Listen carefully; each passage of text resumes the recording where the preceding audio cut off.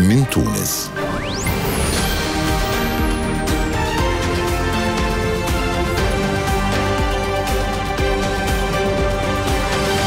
نشرة الأخبار.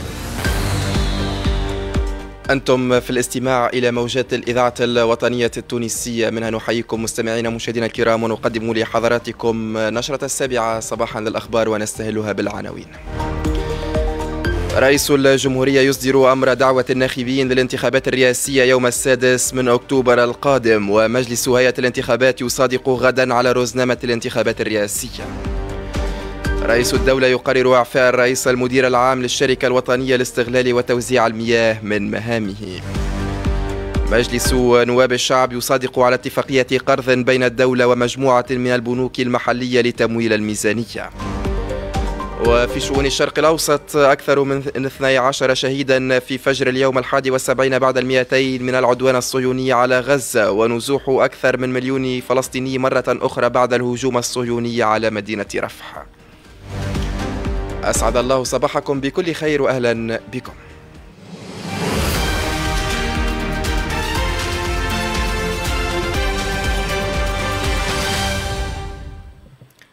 إذا أصدر رئيس الجمهورية قيس سعيد أمس أمرا يتعلق بدعوة الناخبين للانتخابات الرئاسية يوم الأحد السادس من أكتوبر القادم.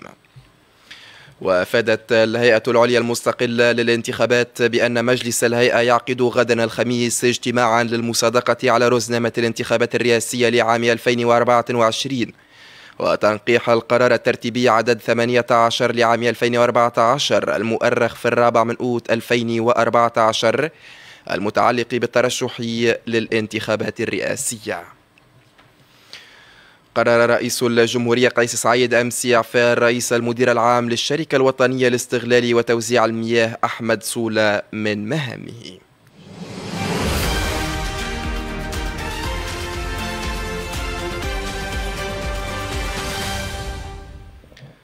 صادق مجلس نواب الشعب على مشروع قانون يتعلق بالموافقة على اتفاقية التمويل المبرمة بين الدولة التونسية ومجموعة من البنوك المحلية لتمويل ميزانية الدولة للسنة الحالية. وأكدت وزيرة المالية سهام البغدير نمسية أهمية هذا القرض ومداخله بالنسبة إلى توازنات السيولة لشهر جويليا الحالي. تعبئة القرض بالعملة لدى البنوك المحلية. يندرج في إطار تنويع مصادر تمويل ميزانية الدولة وذلك بالاستفادة من موارد الإيداعات بالعملة لغير المقيمين الموجودة لدى البنوك المحلية. كما أن هذا القرض يمكن أن يساهم في استقرار احتياطي العملة باعتبار المحافظة على مدخرات الشركات غير المقيمة بتونس وعدم تحويلها إلى الخارج.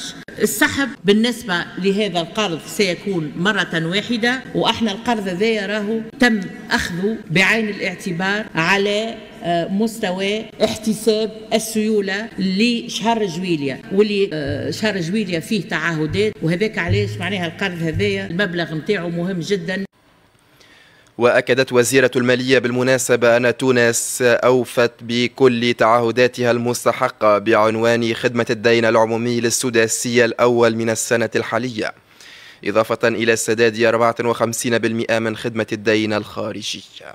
خدمة الدين بالنسبة لسنة 24 نحب نقول راهو تونس سددت كافة التزاماتها المستحقة خلال السداسية الأولى من سنة 24 بعنوان خدمة الدين العمومي والتي بلغت 11.6 مليار دينار. ونجم نقول لكم اللي إلى حدود موفى جوان 24 تم تسديد 54% من خدمة الدين الخارجي. أي أننا سددنا 6.6 مليار دينار من مجموع 12.3 مليار دينار. وهذا يفوق ال 50% وإحنا ما زلنا كي كملنا السداسي الأول. يعني أنه بالنسبة على مستوى سداد القروض تونس أوفت بتعهداتها من جهة أخرى أودع عدد من النواب عريضة لدى مكتب البرلمان بشأن عقد جلسة حوار مع الحكومة لمساءلتها بشأن مدى تنفيذ الأهداف المرسومة للميزانية. ومدى إمكانية تحقيق جملة الإصلاحات المتفق عليها وفق ما صرح للأخبار رئيس كتلة الخط الوطني السيادي عبد الرزاق عويدات. إحنا تقدمنا في الزمن تقريبا نصف سنة في تنفيذ الميزانية. باش نشوفوا وين وصلنا في تحقيق الأهداف المرسومة. قد نجموا نحققوا نسبة 2.1% سنة ولا لا؟ إحنا إلى حد الآن مع هذا الاحصاء يقول إحنا عملنا 0.2% باش نشوفوا أحكام الميزانية ويعني العمل على أنه نعبيوا الموارد ونثريوا المالية العمومية بتكثيف العمل في الفوسفات بإصلاحات في النقل بإصلاحات في المجال الصحي وفي مجال الشركات الوطنية هذا الكل باش نشوفوه من خلال الحوار مع الحكومة وهذا شنو طالبين مجموعة من النواب. يستأنف المجلس الوطني للجهات والأقاليم اليوم جلسته العامة المخصصة للمصادقة على مشروع قانون النظام الداخلي للمجلس. وقد صادق أعضاء المجلس أمس على الفصول من 77 إلى 112 من مشروع القانون وتتعلق بسير عمليات الانتخابات والجلسات العامة المشتركة مع مجلس نواب الشعب وسير الجلسات العامة العادية والنصاب والتصويت وحفظ النظام.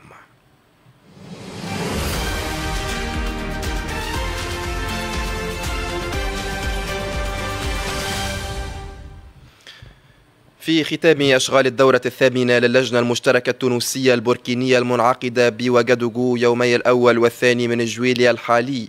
تم توقيع ثمانية اتفاقيات تعاون شملت مجالات الاستثمار والصناعة والسياحة والصناعة التقليدية والتكوين المهني والأسرة والمرأة والطفولة وكبار السن والشباب والرياضة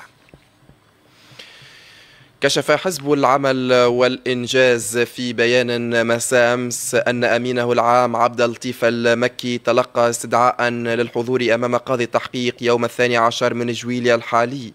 فيما يعرف بقضية رجل الأعمال الجيلاني الدبوسي الذي توفي يوم الثامن من ماي 2014 سويعات قليلة بعد إطلاق سراحه من السجن. يذكر أن بطاقات إيداع بالسجن في القضية ذاتها صدرت في حق القياديين بحركة النهضة. نور الدين البحيري والمنذر لونيسي وإطار قضائي سابق وطبيبة سابقة بالسجون.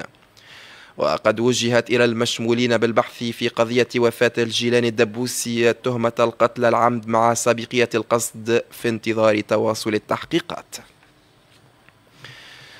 قررت اللجنة الأولمبية إسناد منحة تشجيعية موحدة لجميع الرياضيين التونسيين المتأهلين إلى الألعاب الأولمبية باريس 2024 وعددهم 26 رياضيا.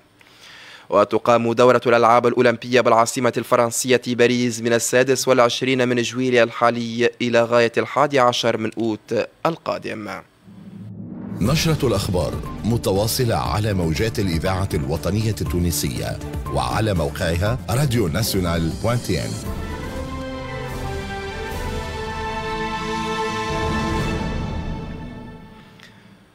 مع دخول العدوان الصهيوني على قطاع غزة فجر يومه الحادي والسبعين بعد المئتين وعلى صعيد القتال الدائر في المنطقة استشهد أربعة فلسطينيين في قصف لمسيرة من قبل الاحتلال على مخيم نور شمس بطول كرم.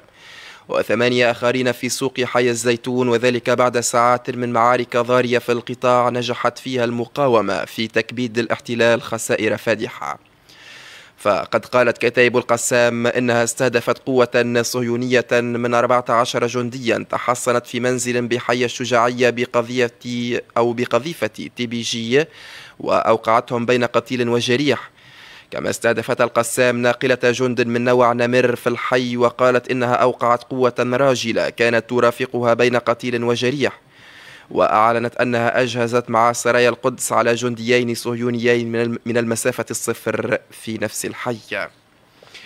يأتي ذلك بينما قالت منسقة والشؤون الإنسانية وإعادة الأعمار في غزة إنه بعد الهجوم الإسرائيلي على رفح نزح أكثر من مليون شخص مرة أخرى. هذا ودعت الخارجية الأمريكية إسرائيل مجددا إلى التحقيق بسرعة وضمان المساءلة عن أي تجاوزات وانتهاكات وقالت في بيان إنه تمت مشاهدة التقارير التي وصفتها بالمزعجة عن استخدام الجيش الإسرائيلي للمدنيين كدروع بشرية. أما على الجبهة اللبنانية فقد أعلن حزب الله قصف سبعة أهداف صهيونية في الجليل وتلال كفر شوبة المحتلة وذلك بعدما شنت مسيرات الاحتلال ومدفعيته عدة غارات على بلدات في الجنوب اللبناني. في الأثناء جدد وزراء في الكيان الصهيوني المحتل دعواتهم إلى بدء عملية عسكرية واسعة ضد حزب الله في لبنان. نهاية هذا الموعد الإخباري الصباحي المفصل. إليكم تذكيرا بأبرز ما جاء فيه.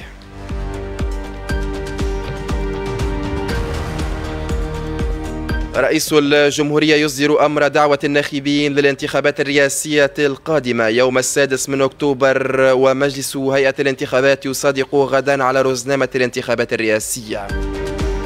رئيس الدولة يقرر إعفاء الرئيس المدير العام للشركة الوطنية لاستغلال وتوزيع المياه من مهامه.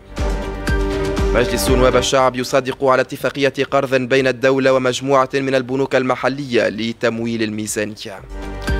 وفي شؤون الشرق الأوسط أكثر من 12 شهيدا في فجر اليوم الحادي والسبعين بعد المئتين من العدوان الصهيوني على غزة. ونزوح حوالي مليون فلسطيني مرة أخرى بعد الهجوم الصهيوني على مدينة رفح.